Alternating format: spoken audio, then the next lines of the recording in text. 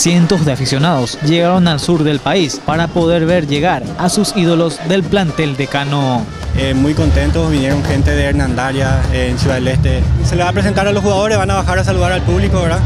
Y, bueno, compartir unos momentos con, esta gran hinchada del sur que siempre la apoya y Dios quiera que en poco tiempo ya tengamos el estadio acá en Encarnación para poder sentir más de cerca ese fenómeno Olimpia, ¿verdad? De todas partes, en realidad espectacular todo lo que se, ya vivimos, camino eh, sobre la ruta 1, la gente de Carapeguá, la gente de todos los, distritos del Paraguay, porque no solamente Itapúa se, se aglomeró y se, sumó a esto, ¿verdad? Que va a culminar la gran fiesta acá en el, centro cívico.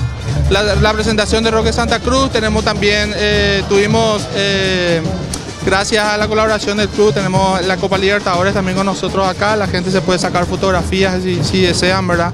Genial, perfecto. Acá Ponteago apoyando a todos los Olimpia Carajo, siempre. ¿Un en especial? Roque, vamos a apoyar a Roque vez. ¿Qué tal tu nombre? Guillermo Herrero. ¿En encarnación? Sí, también.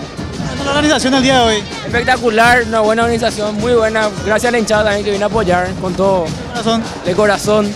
De acá de Encarnación, Barrio San Pedro. ¿Qué le parece el plantel del Club Olimpia que viene a Encarnación? Maravilloso. ¿Estaba con esta espera ya? Sí, hace rato. ¿Está mucho hoy? Sí, muchísimo. Un saludo para Mate. El Club Olimpia estaría realizando su pretemporada por ocho días en el sur del país.